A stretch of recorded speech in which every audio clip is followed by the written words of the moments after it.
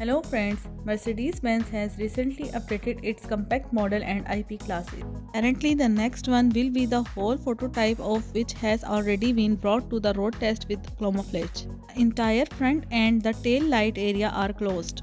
Thanks to these photos we have created renders that the future novelty as see the head optics. It will become a little thinner and get different stuffing DRL. The radiator grille and the front bumper will be mostly like to the made in the style of the latest C-Class changes are expected in the profile, except for the new rims and on the Citroen. We expect to see the lights of the same shape but with new lights filling. Photos of the interior for now no but according to SPAY observation it is clear that Mercedes is not trying to hide it.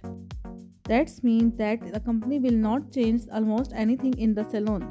Thank you for watching. Subscribe to the channel. Keep supporting. Love you all. Bye.